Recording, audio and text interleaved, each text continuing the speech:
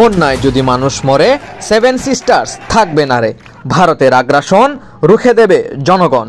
এর মতো স্লোগান এবং বিভিন্ন প্ল্যাকার্ড ফেস্টুন নিয়ে হঠাৎ খুলে দেয়া বাঁধের প্রতিবাদে ঢাকায় ভারতীয় হাই কমিশনারের অফিসের সামনে বিক্ষোভ করেছে সাধারণ শিক্ষার্থীরা। দাবি এসেছে পাল্টা বাঁধ নির্মাণের।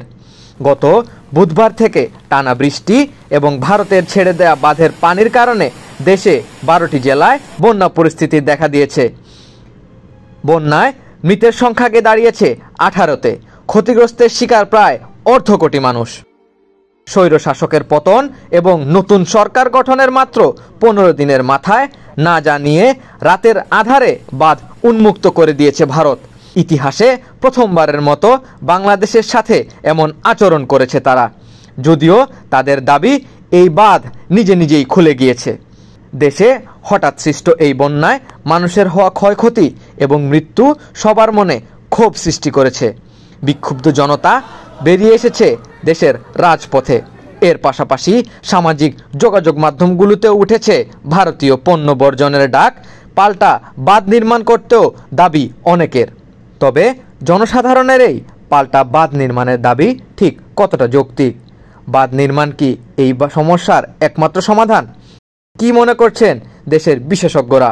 নদী ও বদ্বীপ গবেষণা কেন্দ্রের চেয়ারম্যান ও নদী বিশেষজ্ঞ মোহাম্মদ আজাজ ও দুর্যোগ ব্যবস্থাপনা বিশেষজ্ঞ গৌহার নাইম বলেছেন, ভারতের এই বাঁধের মাধ্যমে যে বিদ্যুৎ প্রকল্প করেছে, সেটি একটি অস্ত্র, কোনো বিদ্যুৎ প্রকল্প নয়।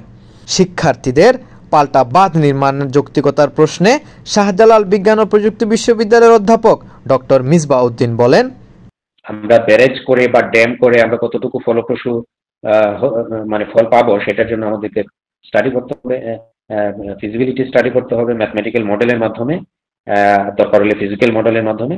তারপরে আমাদেরকে সিদ্ধান্ত নিতে হবে। এইভাবে ঢালাওভাবে আসলে কোনো কিছু এভাবে বলার সুযোগ নাই। ল ল্যান্ডে যারা থাকে, তাদের জন্য কিন্তু ওই যে ব্যারেজ বা ড্যাম তৈরি করা, ড্যাম তৈরি করে ওয়াটার রিজার্ভার তৈরি করা, এটা একটা ডিফিকাল্ট কাজ আসলে। ওয়াটার রিজার্ভার আপনি তো ড্যাম তৈরি করলেই শুধুমাত্র হবে না। ওয়াটার রিজার্ভার তৈরি করতে হবে মানে ওয়াটারটাকে স্টোর করতে হবে। এবং রিজার্ভার তৈরি করার জন্য আমাদের যে ফেভারেবল একটা ল্যান্ডস্কেপ বা টপোগ্রাফি ল্যান্ড টপোগ্রাফি যেটাকে আমরা বলি হিলস যদি থাকে, উঁচু ল্যান্ড যদি থাকে সেই সব জায়গায় কিন্তু এই যে রিজার্ভার তৈরি করা অনেক সহজ। হ্যাঁ ওয়াটারটাকে স্টোর করে রাখার জন্য রিজার্ভার লাগে।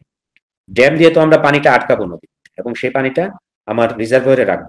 কিন্তু ওই আমাদের যে ল্যান্ড ফরমেশন আছে, আমরা যদি ওই যে ফারাক্কা ডাউন স্ট্রিমের কথা যদি আমরা বলি ওই নদীর কথাই বেশি আসতেছে আমি যেটা দেখেছি ওখানে আসলে ওইরকম রিজার্ভার তৈরি করা আমাদের জন্য খুব একটা এক্সপেন্সিভ হবে।